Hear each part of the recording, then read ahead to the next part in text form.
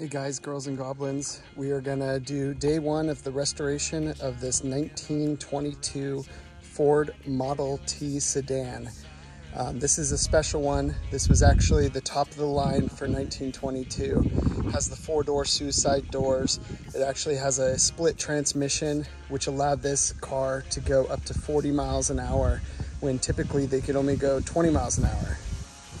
Um, some cool features about this is the wood wheels, which are in okay shape. Um, the engine, everything is there except for the radiator cap. It even has all the original glass. So hope you enjoy episode one.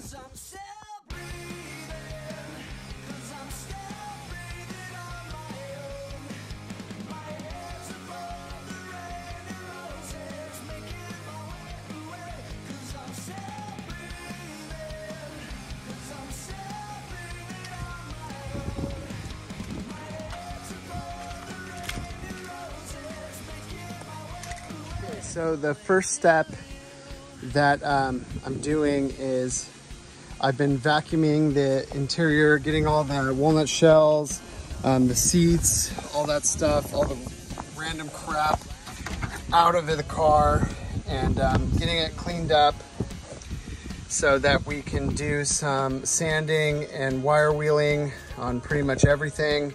Obviously, we're gonna redo the seats. Um, and get a top and do all that cool stuff. But just cleaning it up has been a major chore. Um, it looks so much better though. The wood is pretty decent.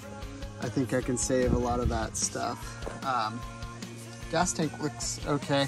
I found most of the parts to the steering wheel, so that's pretty cool. The cool thing is parts are relatively cheap. Um, tires are like 40 bucks each. And um, yeah, nothing's really rusted out. Everything's really solid.